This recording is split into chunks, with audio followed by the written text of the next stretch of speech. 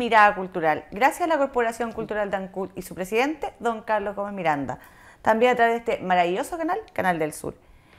Y nos encontramos con parte, dos integrantes del conjunto surreal, eh, para que lo conozcan desde Chillana Coyhaique y podamos conocer más sobre este gran grupo musical. Buenas tardes, me encuentro con Francisca y Carlos. ¿Cómo están? Bien, primero agradecer acá al programa, a ti Fabiola y también a los chicos que están acá presentes y las chicas, por aceptar esta invitación y estar acá también eh, dándonos a conocer todo lo que ya hemos llevado trabajando durante este año y que igual es un trabajo que llevamos eh, en conjunto este año, pero también es muy previo de cada uno de nosotros igual, todo lo que ha estudiado uno de manera independiente, claro. como las aspiraciones que hemos tenido, así que eso primero que todo agradecerlo. No, les agradezco a usted. Carlos, ¿cómo estás?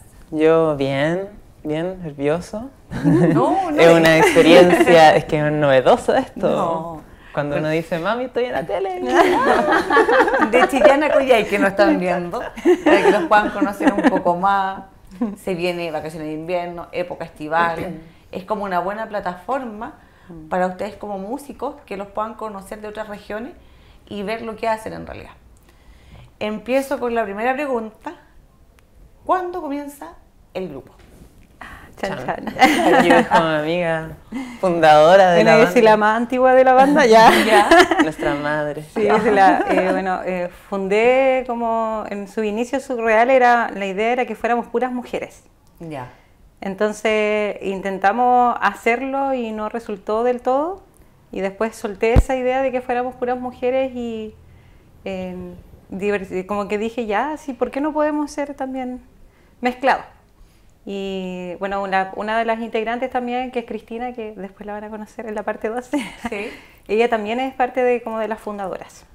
Entonces nosotros nacimos como su real proyecto, como que se creó el grupo de WhatsApp, yo siempre doy como ese hito de, eh, en marzo, en marzo del año pasado. Ah. Y ahí éramos tres mujeres. Y bueno, después con el tiempo, como por junio, entró Opo, que es el, uno de los, de los, guitarristas y también compositores, cantantes también, bueno, muchas cosas. Y después entró Carlos. Y ahí ya quedamos los cuatro eh, bien congeniados y hasta el día de hoy ha sido una relación muy bonita, como de, como de familia más que también como de, como de solo juntarse a tocar, es, es como compartir todos los momentos y eso ha sido muy grato, ha sido muy especial y eso también nos ha llevado a tomar decisiones como de, eh, de mantenernos los cuatro y quizá a veces decimos, oh, podríamos tener este, como este instrumento, pero después como que decimos, es que estamos tan bien así los cuatro. Eh, obviamente no nos cerramos la posibilidad, pero ahora estamos gozando de, esta, mm. de la alegría que hemos construido nosotros cuatro. Eh, esos serían como los inicios. Carlos, cuéntame, ¿para dónde va el ámbito musical de ustedes? ¿A qué área? Para varios lados. Para todos lados, posiblemente, sí. O sea, igual tenemos un factor común, encuentro yo, que es bien música latinoamericana en general. Ya.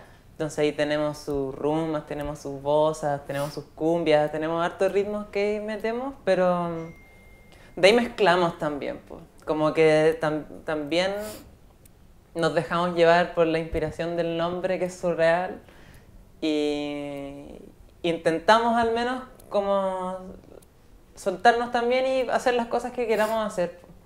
Jugamos hartos con las voces, creo que eso es parte de nuestro fuerte. Mm. Eh, pero eso, es como bien, bien variado la música que hacemos en ese sentido. Pero igual es como música más tranqui, o sea, tenemos sus canciones más movidas también. Es como para tener una experiencia surreal. Ah. a, los, televidentes que nos den de Chillana Goyay que el más nervioso es el que se maneja mejor con las cámaras. Ah, Eso lo pudieron apreciar ustedes. Es la técnica, es la técnica. Claro. Uno parte diciendo que está nervioso. Me hablaba a mí, miraba las cámaras. Ah, Francisca, tú eh, eres una de las que compone las canciones. Sí. ¿Eres la compositora? Sí, soy la, una de las compositoras junto con, con Rodolfo. Eh, y bueno, tocamos mayoritariamente canciones de mi autoría y mm, algunas que también son de, de Rodolfo. Y, la, y ahí cantamos entre todos. O sea, como que no, no es que haya un solo vocalista, una sola vocalista, sino que nos vamos ahí cambiando las voces porque tenemos eso que es hermoso y que yo muy agradecida de que todos cantamos, entonces claro. eso es un tremendo plus tener en una, en una banda eh, tres cantantes, tres guitarristas, o sea, cuatro cantantes, guitarristas, él también toca guitarra, entonces ayudan mucho en la composición, entonces últimamente yo al principio componía de manera más autónoma en mi, en mi casa, en mi pieza, y después con los chicos ya eso se transformó en algo más colectivo, entonces a veces con Carlos nosotros nos ponemos a jugar y es como, ya, yo improviso, juguemos, y él toca la guitarra y le digo, oh, qué bueno eso, y empiezan a salir cosas. Y como, no sé, juntarnos así en la playa. El año pasado hicimos como, compusimos una media canción en la playa y que está ahí, ahora tiene letra y, está ahí, está, está en proceso de, creación ya. Y eso sería una composición de nosotros dos jugando así un día cualquiera, una tarde de, sol. ¿Todos los integrantes son de Chiloé? No, habemos dos que no somos de Chiloé. ¿De dónde? Yo soy de Santiago. Ah, somos de Santiago. Sí. Mm. Somos el grupo extranjero acá. y eh, dentro del el ámbito musical, ¿qué lo llevó a participar, a ser partícipe de este grupo, crear un grupo musical? ¿Se han inspirado en algún tema chilote o, han, o tú has compuesto algún tema chilote relacionado con la isla o algo así? O sea, las composiciones eh, son la inspiración igual de todo lo que veo en el cotidiano acá. Ya. Por ejemplo, habla harto del mar, habla harto también de, como del clima, de experiencias también, como de cómo uno se siente en ciertas temporadas. Eh, y bueno, la música de acá igual ha sido una tremenda inspiración en, en, el sentido como de la lírica también que tienen las personas que componen acá y bandas también locales que han sido como una inspiración de decir, wow, si ellos pudieron, nosotros también podemos como... Antes yo solamente iba a ver a, a, las bandas y era como que siempre decía, me gustaría a mí poder estar como, no sé, era como cerrar los ojos y decir, me gustaría a mí estar como tocando, cantando, pero no me atrevía, me daba vergüenza, eh, sentía que lo que escribía no era tan bonito. Y después empecé a conocer gente aquí igual eh, y gente de Argentina que me fue inspirando como a que que todo lo que uno escribe es bello. Entonces se empecé a soltar como ese, esa traba autoimpuesta de, de que ser muy autocrítica con, con, lo que uno está escribiendo, lo que uno quiere contar. Y desde ahí todo empezó como a fluir. Todo empezó a fluir ahí. A los televidentes les debo confesar que yo vi unos videos en YouTube y la música es muy suavecita, muy bonita, muy clarita. Eh, eso me gustó, me llamó mucho la atención. Y, bueno, después ustedes van a tener los televidentes la oportunidad de poder escucharlo a los cuatro, que por un tema de, espacio también en el estudio, eh, entrevistamos a dos primeros y después vienen dos más, que son los cuatro integrantes, y los van a poder escuchar a los cuatro en vivo para que puedan ver lo maravilloso de la música. Carlitos, Carlitos te iba a decir yo. Mm. Carlitos. Mm. Son, todos niñitos acá. son todos jóvenes. Jóvenes aún. Claro. si me dicen tía, terminamos el programa.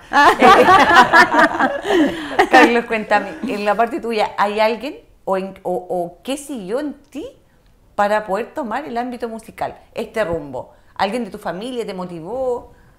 Mm, no sé, compleja pregunta. Igual me he visto rodeado de música en general. Mi mamá, desde que tengo memoria, canta lo que sea, pasada su vida cantando. Y por el lado de mi papá, eh, también tenían, bueno, desde que yo existo al menos, que mis abuelos tienen un piano en casa. Entonces íbamos a ver a los abuelos las fiestas y todos mis primos se ponían, yo no tocaba tanto, pero mis primos más grandes, porque yo dentro de la familia como primo soy de los menores, se ponían a tocar piano, jugaban ahí, siempre hubo como ese estímulo musical. Y en algún punto me fue interesando, como que en el colegio así tocaba flauta dulce, me iba bien. Y eso fue evolucionando, pues y de ahí, en realidad, desde como la enseñanza media que he estado participando en distintos grupos, y lo paso muy bien, me gusta mucho, me gusta tocar distintos instrumentos, al final toco guitarra también, no en el conjunto, pero algo sé, algo sé de piano por, simplemente porque dije, yo quiero jugar y ya está. Y igual lo que se me ha ido dando más es la flota traversa, que es lo que toco con su real. Y de ahí que me metí a jugar, entonces cuando yo llegué acá, llegué hace un año nomás por aquí a, a la isla y tuve la oportunidad de conocer a Francisca y fue como que me dijo, o sea, hablamos un rato, y me presenté como sonidista porque yo estudié sonido. ¿Ya? Y, y de, ahí, de ahí enganchamos como en el proyecto musical, pues me presentó, me presentó a los chiques también. Y yo tenía un grupo musical antes en Santiago, Jimmy Naranja, por si acaso, buenísimo.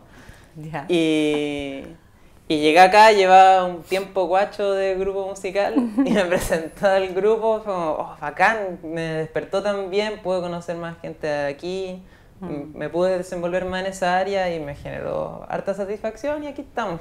Mm. Tocando y hicimos una rica familia también. Mm, sí, son como muy unidos, se ven. Y, y por tu parte, Francisca, porque tú tocas, escribes, eh, ¿qué te motivó o hay alguien de tu familia que siguió esta línea también? Musical? Eh, bueno, como de mi familia bien cercana, soy la única de la música. Ah. en mi familia, como en mi casa, nunca hubo, hubieron instrumentos. O sea, yo no, no recuerdo que a mí me regalaran un instrumento y, y, tengo como esa inquietud por el arte desde pequeña, entonces me las ingeniaba como con tarros de, como esos de pintura que, que, tenía mi papá y con palo y le mandaba nomás, inventaba cosas y andaba todo el día saltando, cantando, eh, haciendo piruetas. Eh, todavía tengo harto de eso, me gusta mucho como jugar, ser niña. Entonces, eh, de chica escribía hartos cuentos igual, escribía harto. Siempre escribía mucho, mucho, mucho.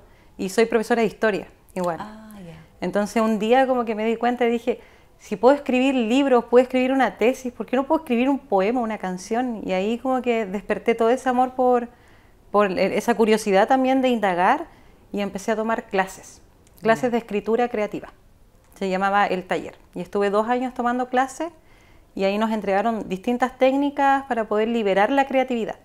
Mm. Y con esas técnicas, bueno, yo me considero una persona bien rigurosa y como matea en ese sentido, entonces era como que había que hacer tarea todos los días y yo hacía las tareas todos los días, pues entonces avancé en muy poco tiempo, avancé muy rápido y yo no me di cuenta después en un año tenía 10 canciones ya hechas. Mira. Entonces fue como, wow, y a los 16 eh, conocí la guitarra por mi hermana, porque ella entró a estudiar párvulo y mm, le pidieron una guitarra.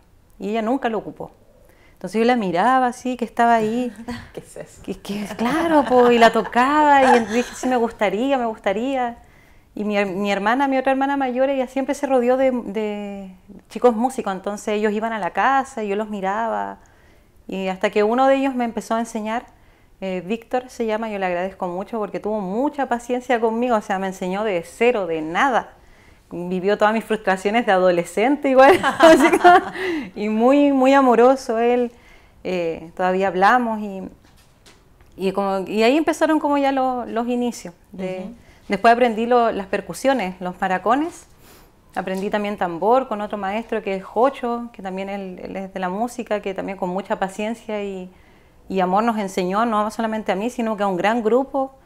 Eh, y ahí voy creciendo. Y bueno, otras personas que han estado en mi vida, que también les agradezco, eh, no sé, parejas que he tenido que también han estado en la música y que hemos compartido la intimidad igual y me han enseñado distintas cosas como, no sé, que uno tiene que creerse el cuento, que, que es importante, porque ellos ya músicos más reconocidos, entonces yo así como muy música todavía así como pollita, como, como que no sé, que me da vergüenza. Entonces como que me han empujado también a, a lanzarme un poco y volar nomás y, y, que pase lo que tenga que pasar. Es como, sí, porque al final es el, el, miedo, como el miedo al éxito, eso me daba cuenta que lo tenía, como, ¿qué pasa si me va bien? Y es como, ¿qué hago con eso? No? Pero ya... Manejarlo. Sí, es como, es como impactante, llega a generar como como algo raro, pero, pero aquí estamos. A los televidentes los quiero dejar con una canción de Subreal y al regreso Mirada Cultural continuamos con los dos otros integrantes de Subreal. Esto se llama Flujo de Colores. Me encuentro aquí soñando despierta el brillo de tus ojos viajando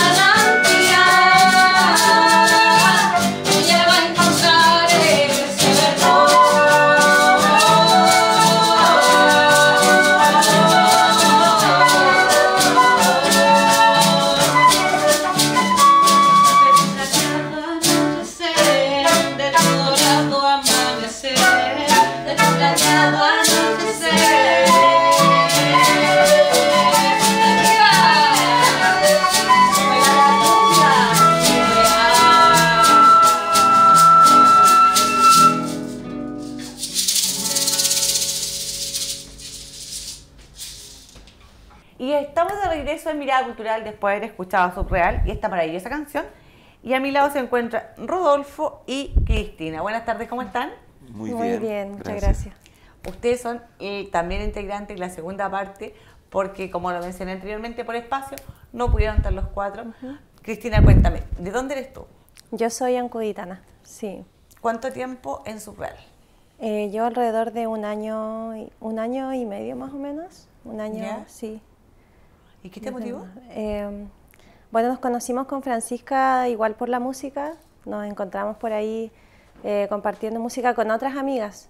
Entonces queríamos formar igual este, como una banda ya como más de cumbia y todo. Y después pasó un tiempo más o menos largo y Francisca me contactó y me dijo que me mostró este proyecto de Surreal y sus canciones nuevas que estaba haciendo. Ya. Y me preguntó si quería formar parte igual de, de esta banda. Y, y obviamente yo escuché las canciones y me enamoré completamente de la música, de la esencia que tienen las canciones, como que hay una estrella muy hermosa en cada canción, entonces eso me cautivó mucho cuando, cuando escuché la música y le dije al tiro que sí, no... Es muy suavecita la música. Sí, es suave. Es sí. suave y es agradable. No, no es algo que... Pa, pa, no, es una música agradable. Rodolfo, también de Ancud. También de Ancud, sí. Los inicios en Subreal, ¿desde cuándo? Eh, también algo más o menos parecido a Cristina. Eh, va como... Igual llevo más o menos un año en la agrupación y fue justo... eh, fue en el cumpleaños de una amiga, eh, una amiga, bueno, dentro de los nombres que han sido mencionados, igual Jocho es una persona que, que acá en la isla comenzó a hacer clases de percusión y Kika, quien está de cumpleaños, donde conocí a Fran también, fue de esa tanda de músicos como que se creó, hay como una docena de percusionistas que están por ahí por Ancud, gracias a él. Y claro, todo eso nos fue juntando, fuimos como un grupo de amigos y cuando se hizo este cumpleaños, eh, pasó que en un momento, como éramos todos músicos, pasó el rato que empezamos a mostrar nuestras canciones.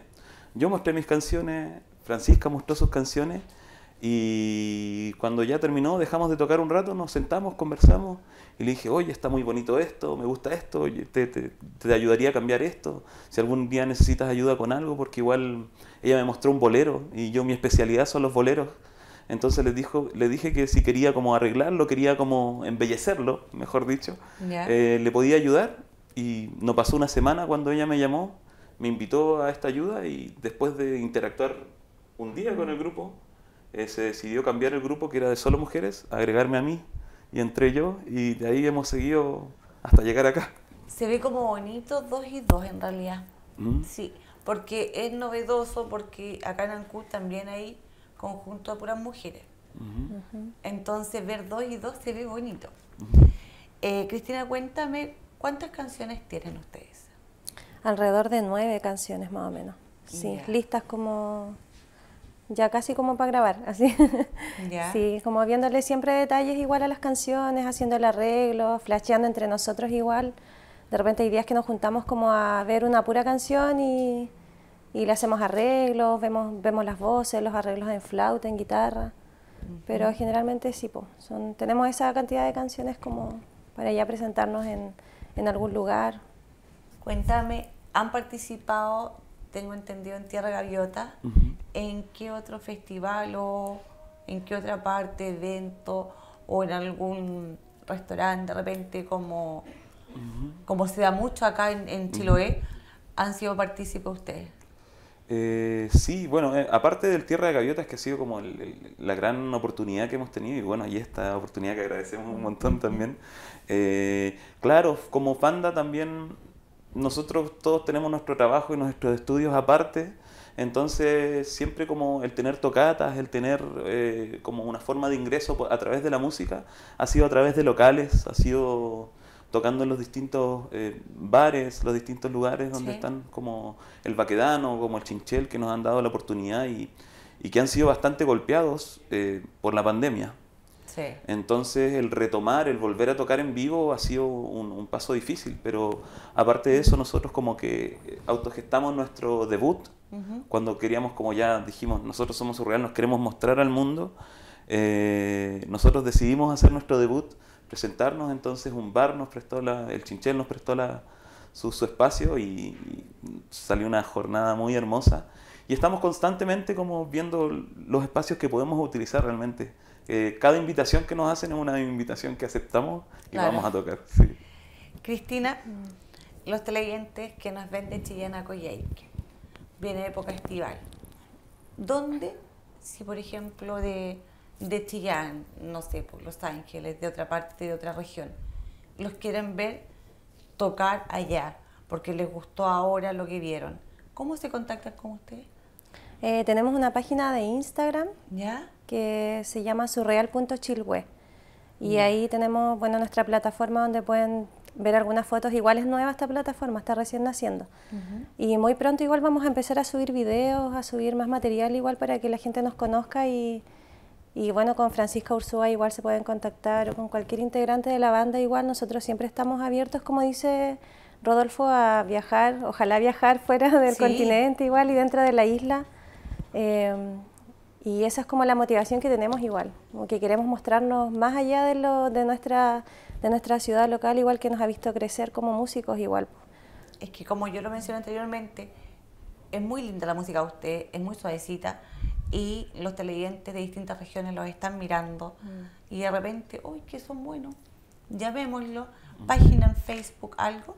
¿Tienen o no en Facebook? Nada No, Facebook no, solamente Instagram. Sí. ¿Lo puedes repetir, por favor? es surreal.chilhue. Ya. Para que los televidentes que les interesa y quieran tenerlo en su región, tocando eh, mm. en una noche, en un pub, ahí se contactan con ellos. Rodolfo, ¿qué esperan a corto y largo plazo respecto a lo que están haciendo? Y créanme que aquí el estrellato, seguro, se lo doy firmado ante notario. Yo diría que a corto plazo estamos como igual como en un stand-by. Eh, nos gusta mucho nuestra música, nos, gusta mucho cómo la estamos trabajando, pero siempre pasa que estamos, se ha mencionado varias veces la palabra jugando. Nosotros jugamos mucho con la música. Entonces, dentro de los ensayos nos damos el tiempo para ir modificando nuestras canciones y siempre estamos diciendo, oh, en esta canción falta algo, en esta parte falta algo. Entonces, a corto plazo, ese es nuestro objetivo. Obviamente tocar en distintos otros lugares, eh, pero siempre irnos puliendo como grupo.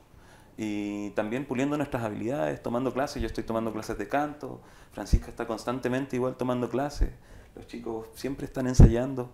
Entonces, como a corto plazo es siempre ser mejores.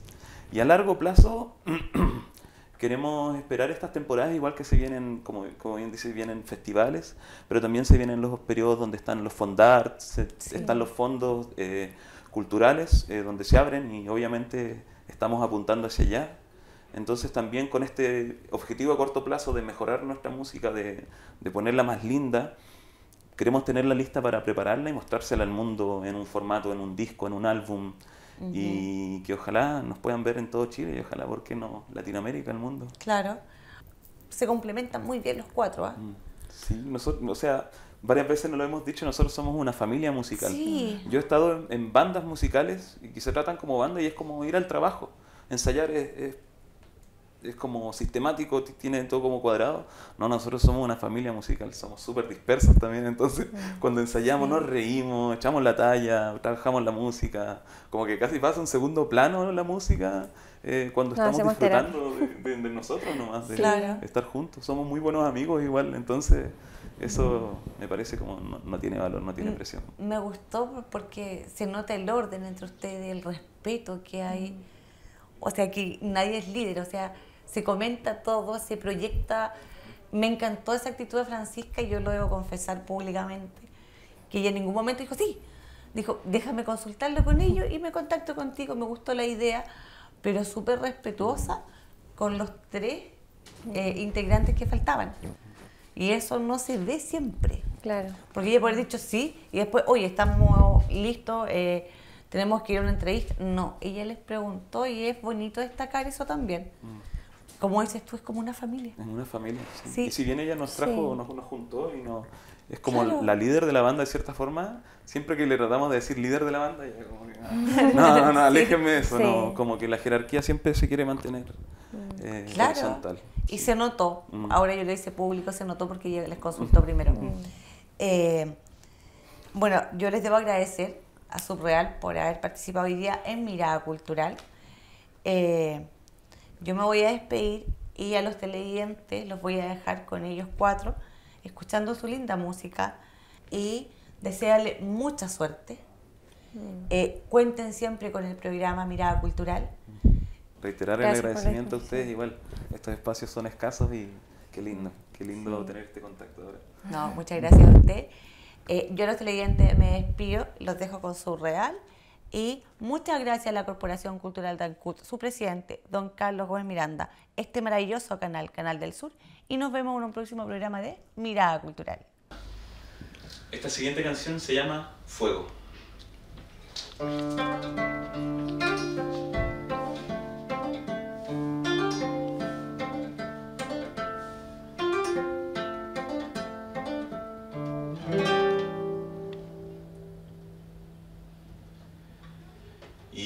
Este cuento vuelve loco a quien lea su pasaje. Tan pronto emprendas el viaje, guarda todo tu equipaje, identifica tu problema, deconstruye tu sistema, ten siempre un salvoconducto para poder filtrar las penas. Esa en forma de afecto de quererse a uno mismo y de soportar el sismo cuando se vengan los sismos de que alguna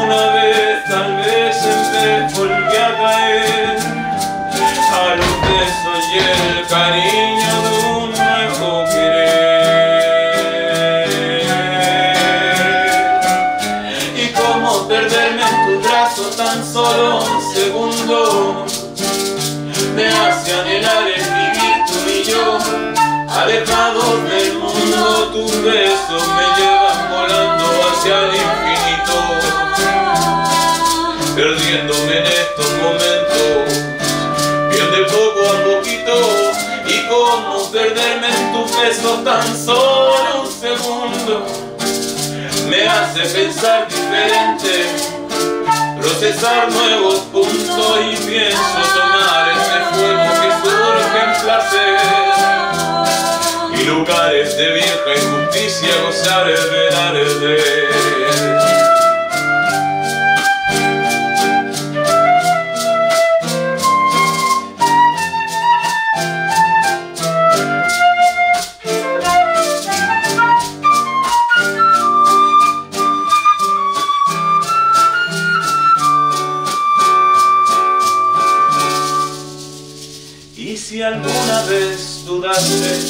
si esta melodía danzaría en tu mente.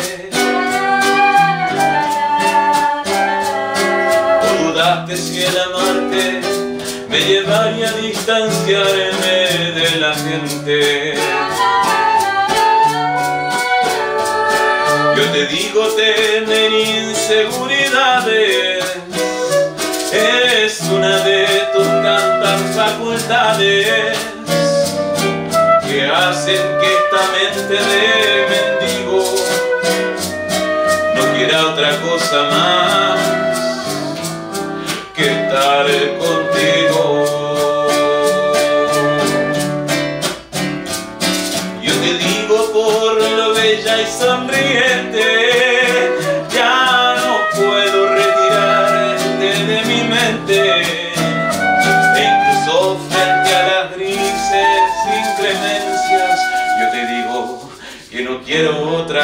más que estar contigo. Y cómo perderme en tus brazos tan solo un segundo me hace anhelar el vivir tú y yo, alejados del mundo, tus besos